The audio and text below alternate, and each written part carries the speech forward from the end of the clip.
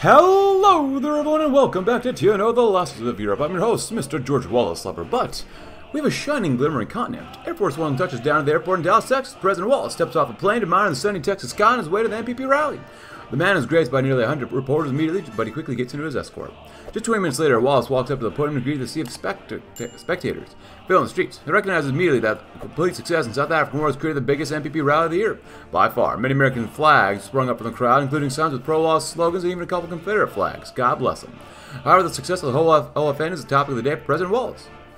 Americans. We meet here today to celebrate the liberation of Africa by OFN forces and the expulsion of the Nazi menace. I'm proud to say the MPP stands with our fine brethren representing the OFN across the world. Our allies have forged together in absolute unity, bearing the torch of freedom against all who seek to destroy us. No matter what, the MPP will continue to represent that fine spirit in America like no one else. Wallace's fervent speech enraptured the Texas masses, but one lingering feeling was clawing at his skull. The war was now over, but could an entire half-continent be brought to enjoy democracy? The Jack believed there was no hope of prosperity for the Africans, but the Americans even have a better chance than the Nazi overlords? If Central Africa were to collapse, which definitely burst a victory bubble, Vic Wallace was riding high on. The NPP would certainly take a big hit if this African mission failed. The horde of NPP supporters vigorously applauded Wallace as he ended his speech and withdrew from the podium. Even as his son began to set, the name Wallace could be heard chanting from within the scattered crowd. The true situation in Central Africa tells a different story, of course. Adra marches to victory in Congress. The United States of America, country founded on the strong, people willing to defend their homes from all threats, foreign and domestic, but achieved a level of shock regarding system of defense since the United States defeated the end of the Second World War. President Wall is ever more diligent on his fight to achieve greater powers for the state governments in this country, effectively piece together a bill that passed through the Senate today requiring complete overhaul of the police forces of our country, establishing a requirement for each state to maintain a force of police which are constantly active alongside a local defense division, serve as a local defense force within the state, while freeing regulations regarding uh, the activities of these police and their methods of enforcement. The country as a whole, however, remains heavily divided on the issue. The Wallace administration finds the American Defense Rearmament Act, also known as ADRA, to be one of the growing, crowning pieces of legislative accomplishments for uh, President George C. Wallace. The President addressed the nation regarding the success of the act, saying the American Defense Rearmament Act will allow the great people of this Union of States to maintain law and order however they see fit. Furthermore, the local defense division of each state will guarantee a level of security and defense not handed down from Washington, D.C. has never been uh, seen before. Establishment of the LDD has already inspired several thousands of applicants looking to potentially enlist to serve their state and country. However, it has grown wildly in the country, as many find ADRA to be a direct violation of the status of the United States as a strong world power. ADRA is a stand on the ability for the U.S. Uh, to ascend as global world power, one furious World War II veteran proclaimed in protest in Washington, D.C. How on earth are we meant to our, ourselves on the world stage when we're so busy beating our own citizens for knowing a little Japanese or German?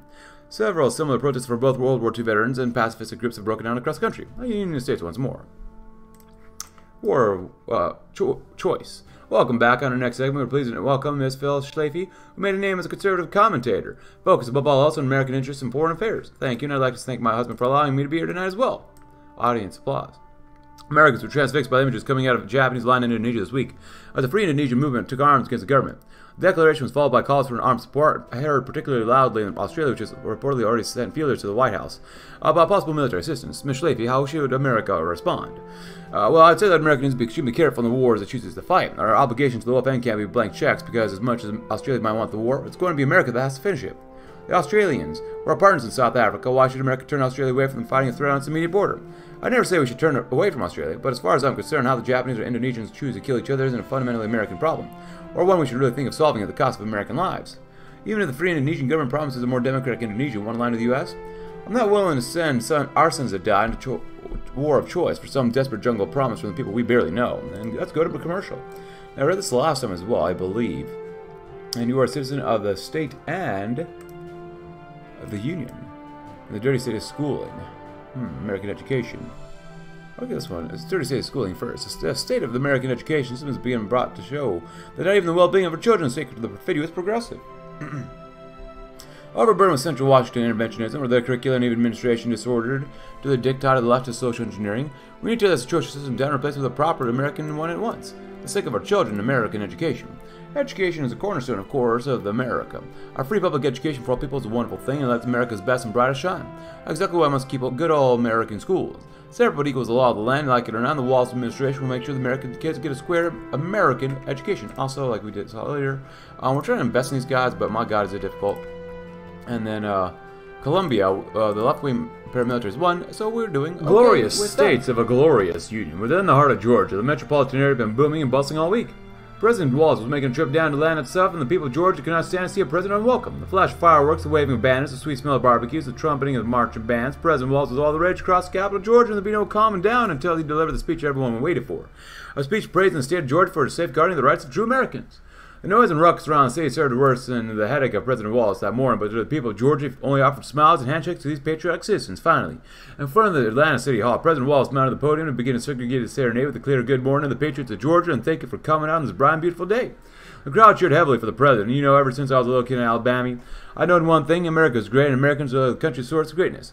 Everywhere I looked, Hardworking men fought the workplace on the front lines, doing everything they could for friends, family, and country. Yet, as I grew up, I saw within the lawmakers of Washington, D.C. certain parasitic qualities.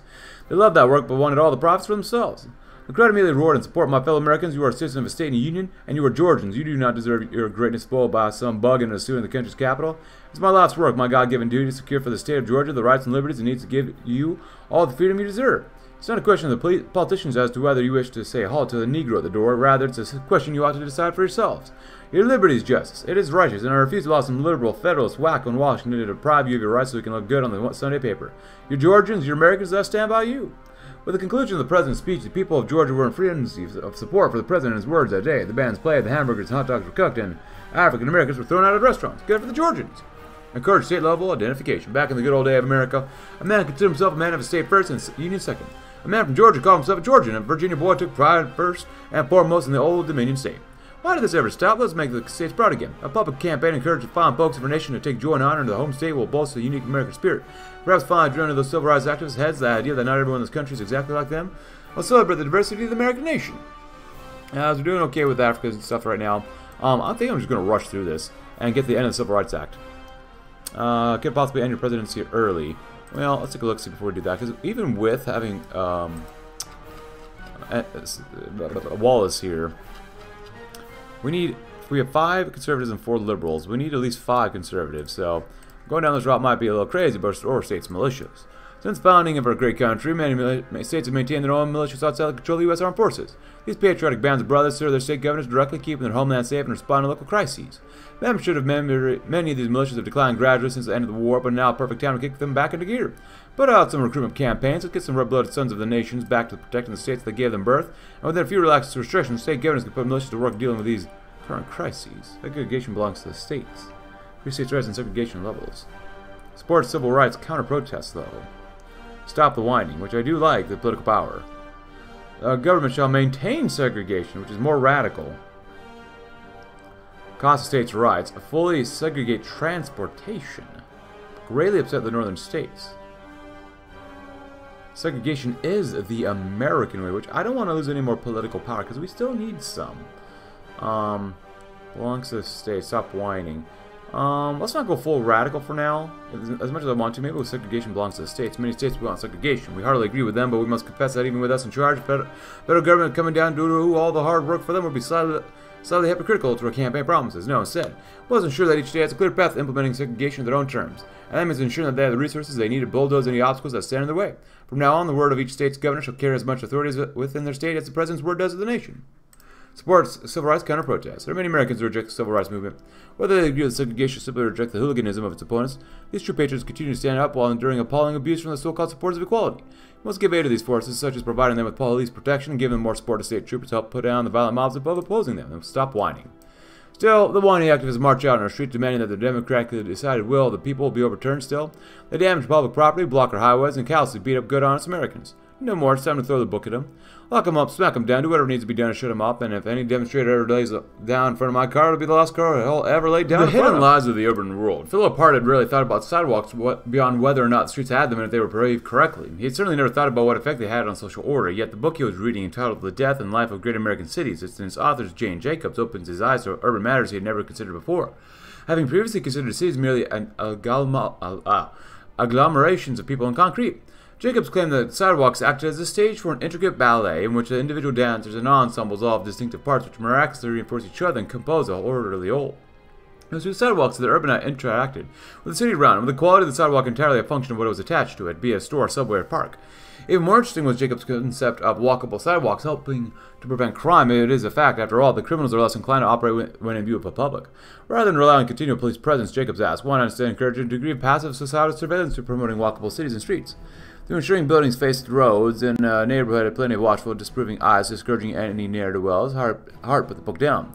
Arthur, please get in touch with Miss Jane Jacobs of New York. Tell her I admire her struggles for a community and that I've been reading her book. If it's all right with her, I have quite a few questions about her ideas. They nodded and hurried off the, on the errand as Hart continued reading the book.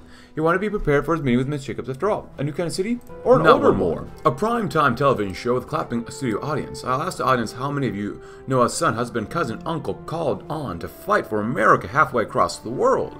The camera didn't pan to the audience, but the host's eyebrows were raised along with a wave of hands in the TV studio. All of us here are welcoming home our men in coffins or in life-altering pain and suffering for a war with the Indonesian.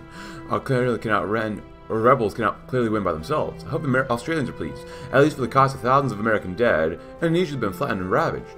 The crowd murmurs, some of them angrily. The host motions for Phyllis Schlafly to continue. Bringing our bring our men home. There's no point for them to be in a war that nobody asked them to fight, where violence is a point rather than a means to answer an end.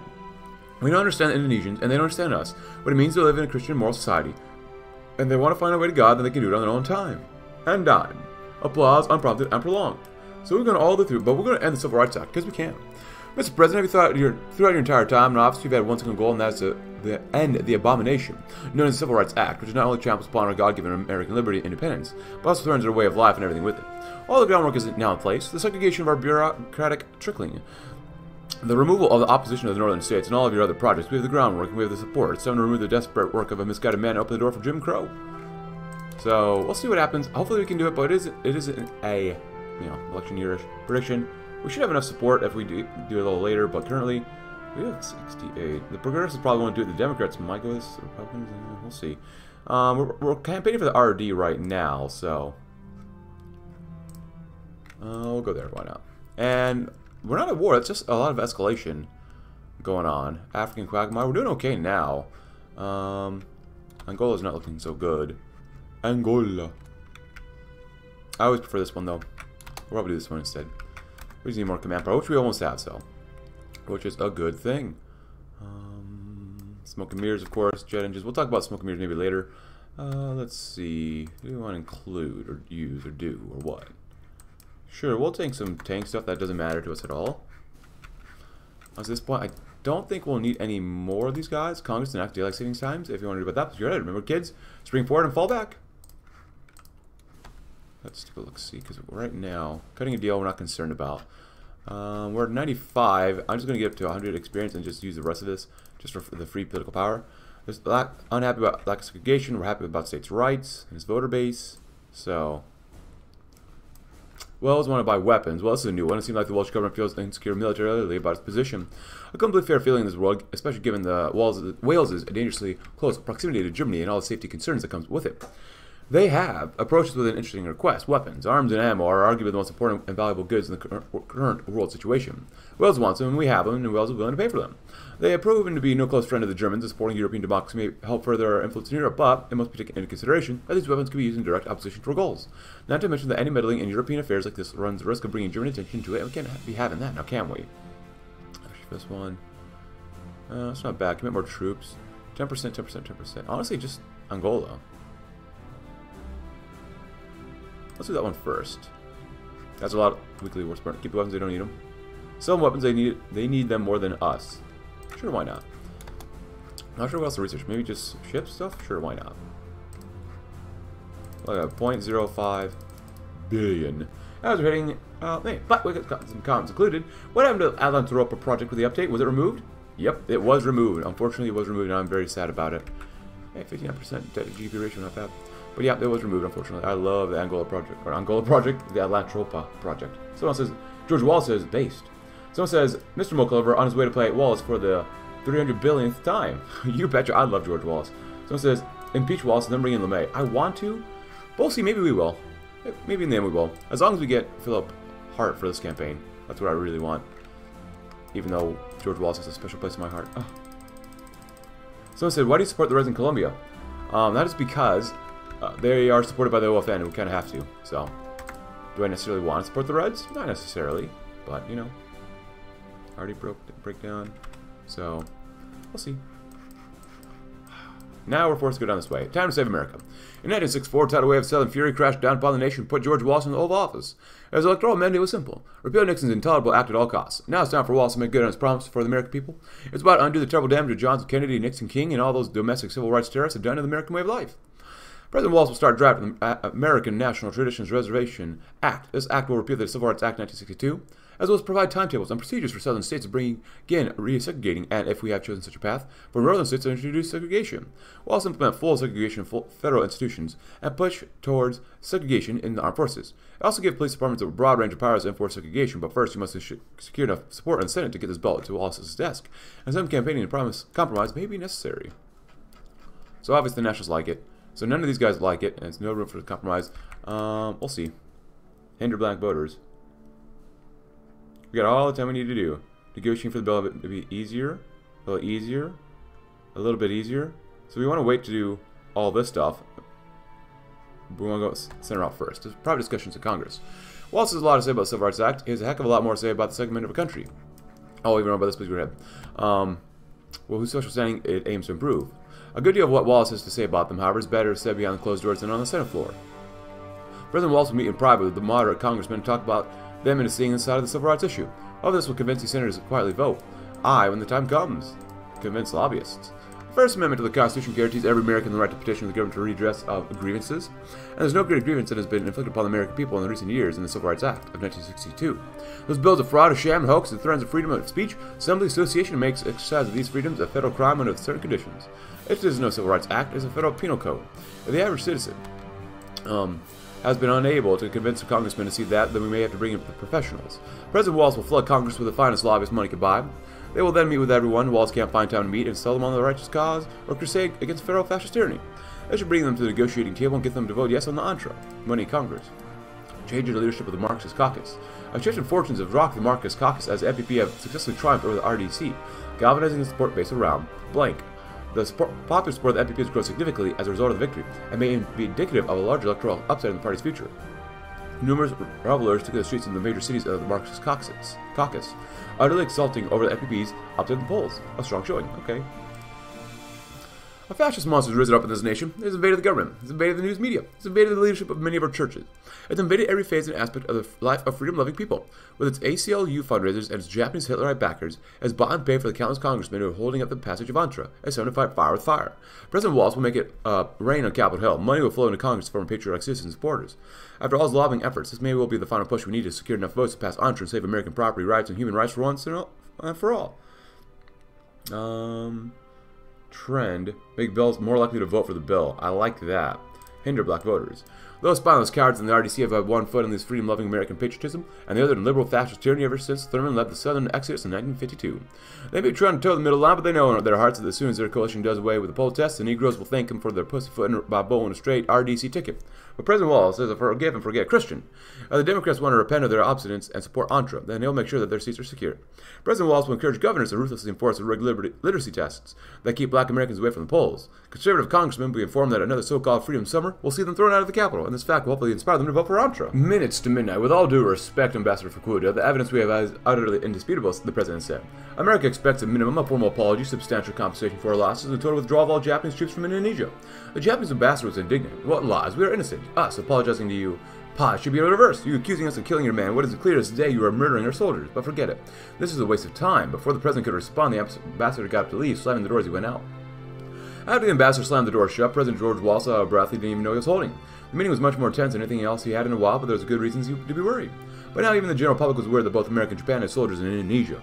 Both were blissfully unaware of the deeper implications, with an airy uh, soul noticing what was once unthinkable had become a reality. American and Japanese soldiers were shooting each other, killing each other. Of course, they couldn't say that out loud, but the presidents, both of them, and the ambassador realized what would happen if they did. It'd be a race to the top of the escalation ladder where the only prize was nuclear annihilation. Even as their armies were slaughtering each other with the destructive, all the destructive force that could only modern war could bring both sides out to pretend it wasn't an actual war. There they were, American Japan, locked in this uncomfortable pas de deux. I was hard to worry about how long this facade would last. Also, I'm not concerned about this. I mean, if I to use commands, I will. I mean, I'm going to be honest here. Um, we'll make sure we, we do pass our stuff, you know. Honestly, depending on how long this takes, 21 days, uh, get back in your place. Yeah, repeal the Civil Rights Act. We'll see how long we take. We might actually get more support from this. Seven more, less Democrats, more Republicans. If we get more from the Nationalists, we might actually be able to line it up. But maybe not, but we'll see. I just don't do a focus. So. But in the meantime, we are here having a little bit of fun, seeing if we can send some volunteers down here. Three divisions, not bad. Um, you have the most experience, so there you go. Uh, wait, why did I put five? There you go. You to send three. There we go. Yep, and they've all exploded into warfare. Three wings, but only 200 in total, huh? That kind of sucks. Not gonna lie, that kind of sucks. Get some fighters here, they should be fine. And then, where's our CAS?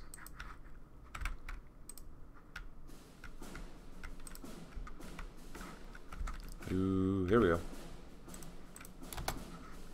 Bomb them. All this stuff, conflict status, not concerned about it. I'm more concerned about this one. Once we send our guys down there and we do well, that's all that matters to me. So all the divisions should do well down there. Yes, sir. As we do have a cup of coffee here as well. Finally, some coffee. Ah, oh, I drink too much caffeine, but I love it. I love it. Hello. Alright, so here's what we're going to do. We're going to come around here, and we're going to push all the way through here first. Or we can go through here first. Maybe we should come up here first. This is different, because this is... I've never done it like this before. You know, let's go this direction. Just because... I'm not used to this.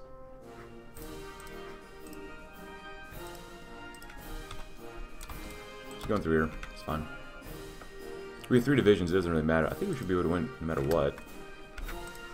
There we go.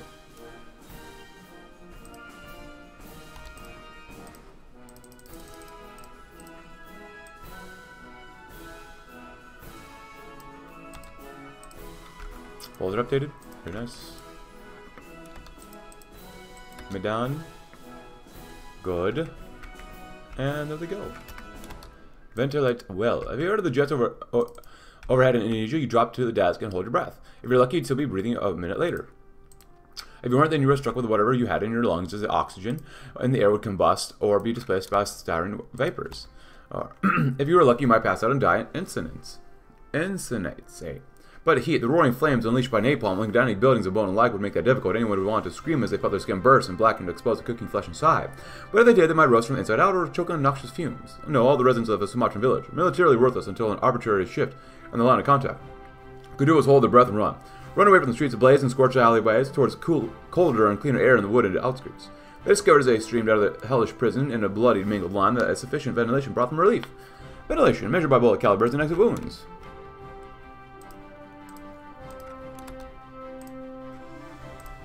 Even though I'm, I'm also just like earning is now five. What if I just stopped campaigning? We're doing this as well too. We'll see what happens, you know. I just want to be successful George Wallace. He's like my national hero.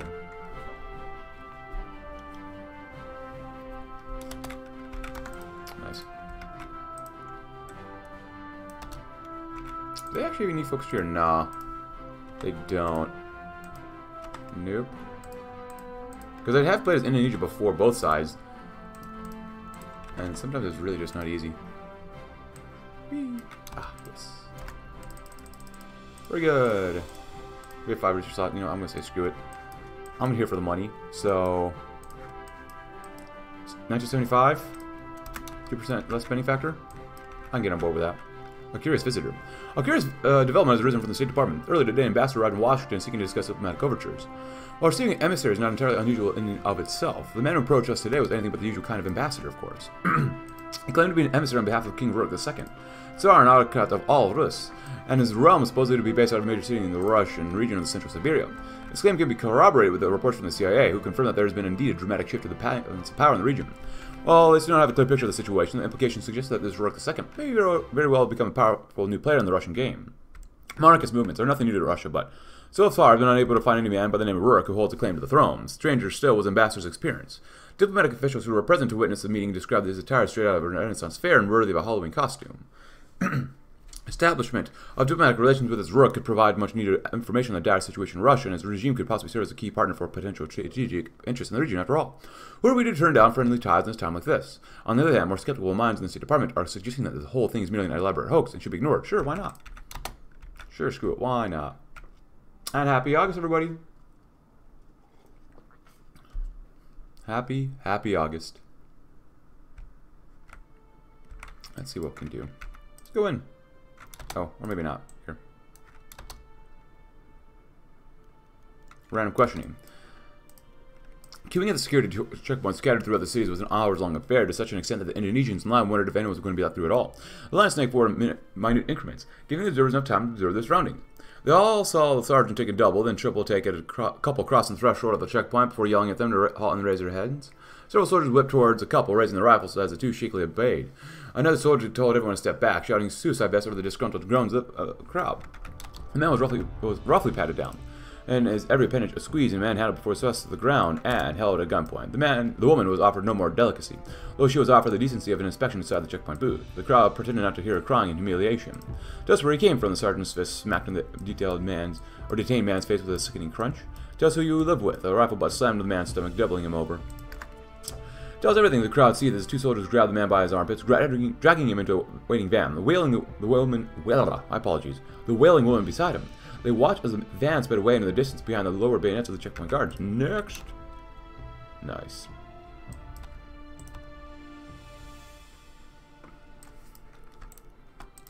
Good.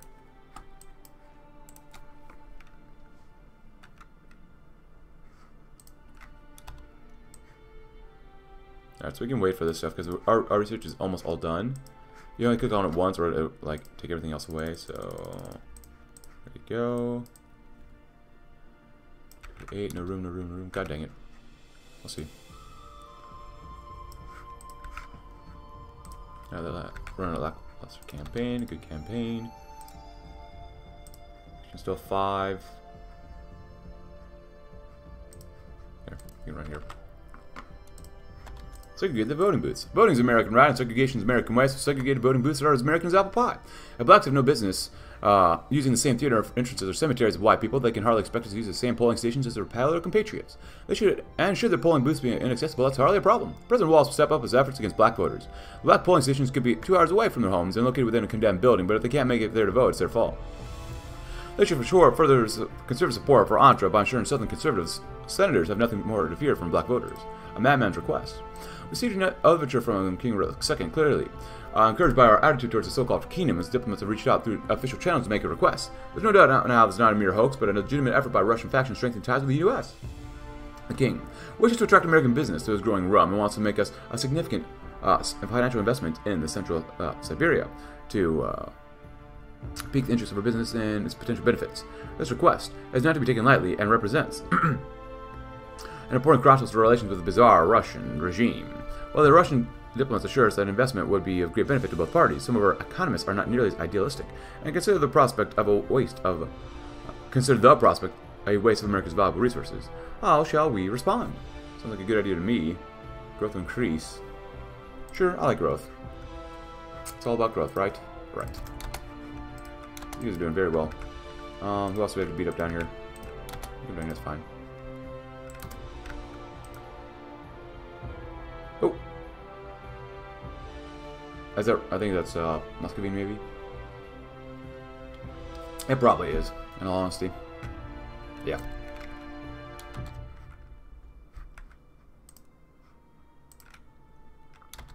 Ah, I've got to go all the way through here then. It's fine by us. Fine, fine, fine by us. And they're liberating Muscovine too, which is going to take forever. But look at our debt. 207 billion. I mean, obviously our GDP could be higher, but still superseding circumstances. Oh boy. Oh, the crowd had already been gathered for several long hours outside the police station by the time the foreign colonel arrived. The police straining to hold their cordon as the officer hurried inside. Everyone knew what had happened. The city far beyond the front, and its bars and clubs and clubs had been terrorized by foreigner who took offense at every perceived slight, or sometimes at nothing at all. Drunkenness was the excuse used at first, as all the foreign soldiers and sailors won't, there won't to be.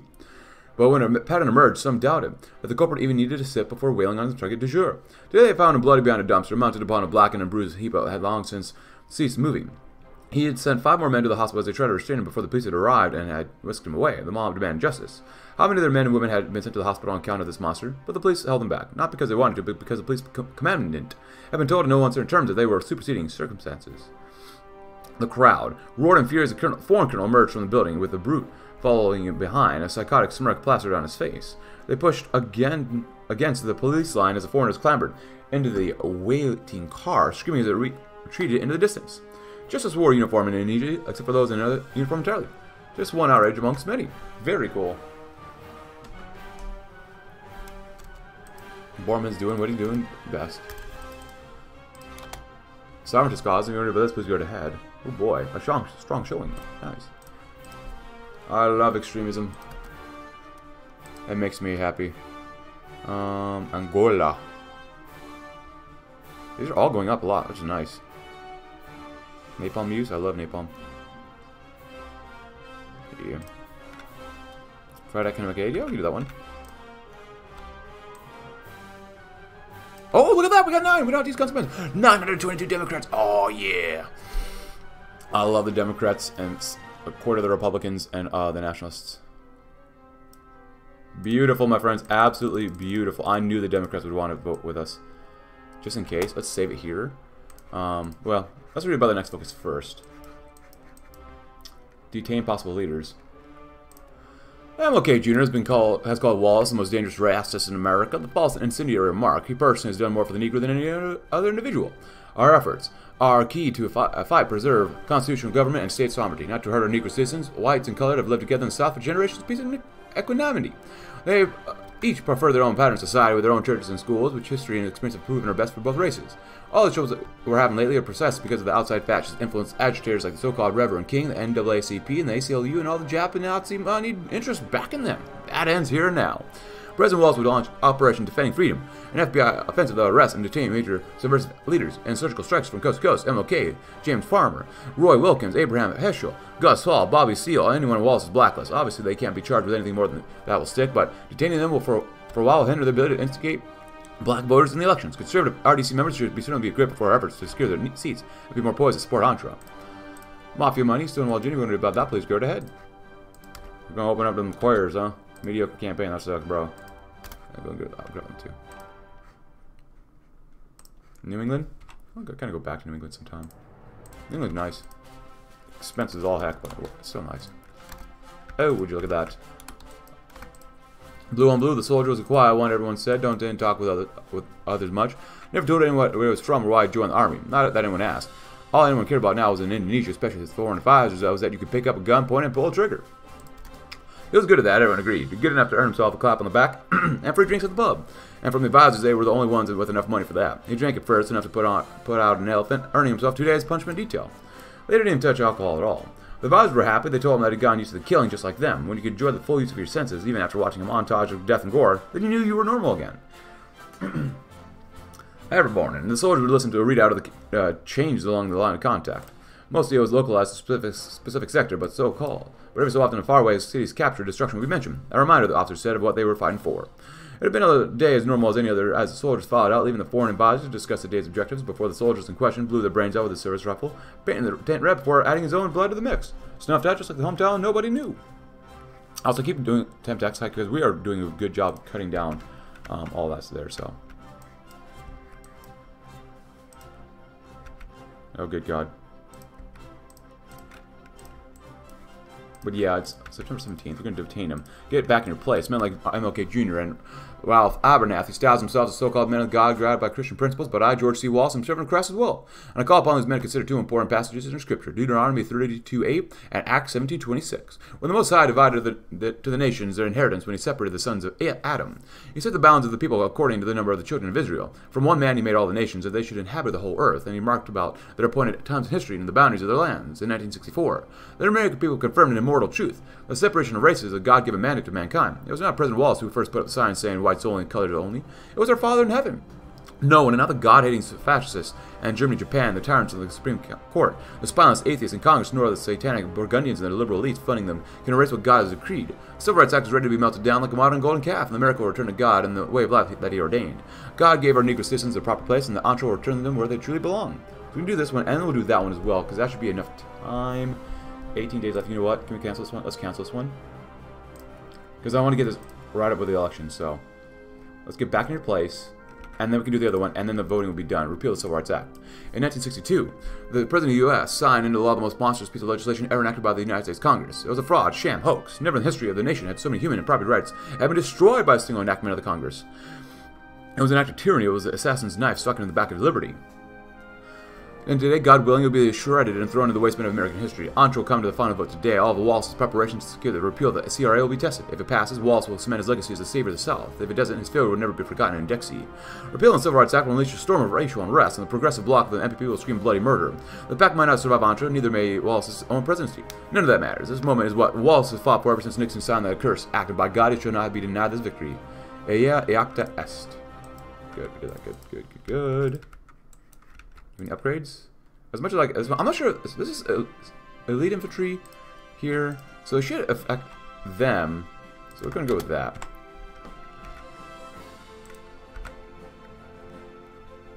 We can do it. We can do it. We can repeal the Civil Rights Act.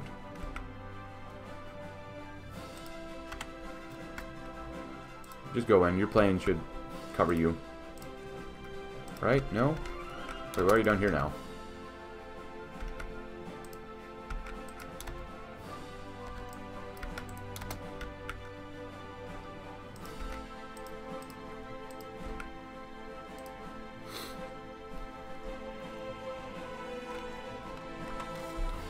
A little laggy, but we're getting to October.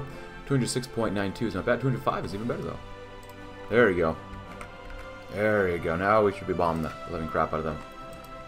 Should be fine, even though they're not reinforcing for some reason. Get back in your place. Increase MPP unity significantly. Alright, so even without them, we're still good. Oh boy! Oh boy! That's the one I want to do next. And then American education, the beacon of democracy, freedom, business. America is the uh, last great nation on earth to preserve the ideals of freedom and democratic government. We owe our success in regard to the mightiest economy mankind's ever assembled, forged and maintained by American banks and American industries. Free from the state's menacing grip, they have risen to the great heights, and earned greater profits year after year, until soon America surpassed and then utterly dwarfed the old world tyrants and their many inefficiencies. Cannot be said enough. Without its unflinching dedication to free markets and free enterprise, our nation will have been consigned on footnote in the annals of history long ago. As a new president enters the White House, so too must America must chart a new course for economy. For thinking men such as you and I, there exists only one option. Promote American business at home and abroad, whatever the cost. Only them, as American dollars and American businessmen travel from Washington to all four corners of the earth. Unimpeded, unburdened, will our nation be incapable of continuing the fight for the ideals we so deeply cherish in the decades to come? You bet your boy. Ah. Just gonna get ready for, uh, for the part run, too. And also do a lot of the economy stuff out of this, too. Civil rights. Who needed civil rights? Who needs rights?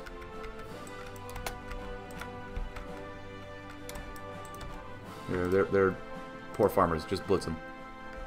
87% nice. Oh boy. Here we go. Kennedy's legacy destroys Ontra and Congress. We have enough votes, so just in case, we're going to save. This is a big deal. This is a huge deal. Right before the election as well. And Ontra soils Kennedy's work through Congress. The United States of America land accounts prosperity and in its variety and found itself in near political standstill following the events of the federal government today. There within the congressional halls of Washington, D.C., the Senate, moved on by the prerogative of President George C. Wallace, approved the American National Traditions Reservation Act, also called ONTRA, or repeal law against the Civil Rights Act, nullifying its legal effects within the United States. Countless citizens look on in the future with fear and awe as the social sphere of the United States stands completely unchanged, and with some saying for the better, others saying for the absolute worst. President Wallace and the entirety of the cabinet have issued full celebration regarding the victory within the Congress, and the issue of the existence of the CRA was one of the initial is issues of the President Wallace's campaign and eventual success of becoming the president. The United States is a land of culture, tradition, and moral values. Meanwhile, obstructing Americans' rights to enact these pillars of culture, such as segregation, as a direct obstruction of the American dream itself. Maintaining segregation and putting an end to the Civil Rights Act was a drastic issue I declared to resolve within my presidency, and resolved the issue I did. As the end of the Civil Rights Act is a crowning achievement for all my administration and I. Recent reports indicate marches all throughout Montgomery, Alabama cheering the Alabama president and successes against the Civil Rights Act. Others, however, maintain a sense of terror and dread as they think about the future without the Civil Rights Act, with notable instances of entire families of African Americans locking themselves away in their homes. America is our home, just as any of the red-blooded American gets to say it's their home, and it seems that the head of our household has decided to cast away one of the house's children from safety and security, said one African American worker, who was found eating at his favorite restaurant in fear of what would not be able to come back in a long, long time. I want the name Wallace flying across country. Now, we're not going to uh, click this yet. What if I say, let's get through the election first, and then we'll click that. You know? Very nice. You, me, and they don't need they don't need rights. That's the economy. That's the economy. Gosh darn it. We did it, my friends. We did it. Still stable. It's going down a little bit more, but whatever. Um, 68, huh?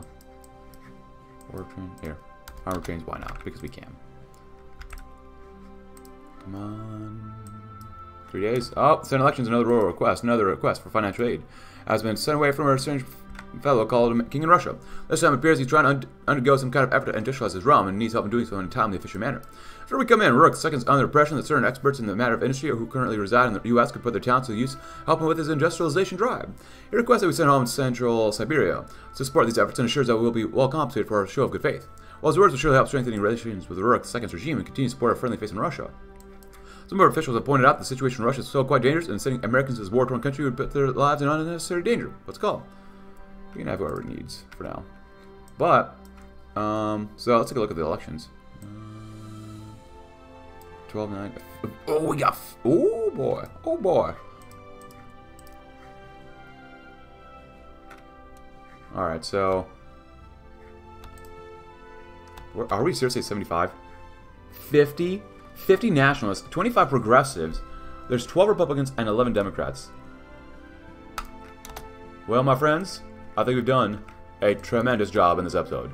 But unfortunately, I must end it here. If you enjoyed the video, though, leave a like, subscribe if you're new, check out my Discord link in the description below, and I will see you tomorrow as we'll see what else we can do with Wallace as we push forward, push forward, to see what else we can do with USA TNO. Thanks for watching. Have a great rest of your day.